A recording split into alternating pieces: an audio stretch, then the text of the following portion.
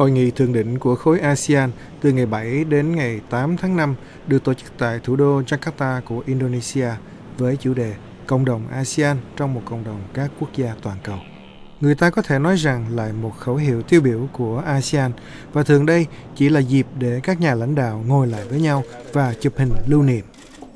Nhưng hội nghị thượng đỉnh lần thứ 18 diễn ra tại nước đang là chủ tịch luân phiên của khối trong bối cảnh xung đột Thái Lan-Campuchia không dứt hẳn. Ngoại trưởng nước chủ nhà nhân dịp này đã gặp riêng Ngoại trưởng Campuchia. On top of the ASEAN-related subject matters, uh, His Excellency was kind enough and I, I also took the initiative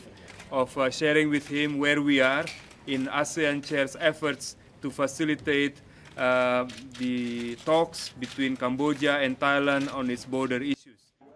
Ông Marty cho biết Campuchia đã đồng ý với các điều kiện làm việc của toán quan sát viên mà Indonesia dự kiến sẽ gửi qua khu vực đang có tranh chấp.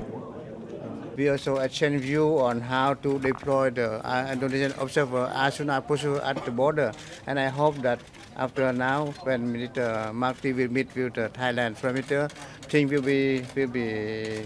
could be arranged for the deployment as soon as possible of the Indonesian observer và không chỉ có tranh chấp lãnh thổ giữa Campuchia và Thái Lan, mà còn tranh chấp chủ quyền trên Biển Đông giữa Trung Quốc và một số nước trong ASEAN.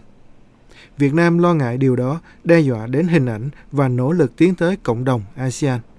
Nhưng trên thực tế, các nước liên quan trong khối vẫn chưa tìm được tiếng nói chung mà chỉ mạnh ai nấy lên tiếng phản đối nước láng giềng phương Bắc khổng lồ, trực tiếp hoặc qua Liên Hiệp Quốc như Philippines mới đây đã làm.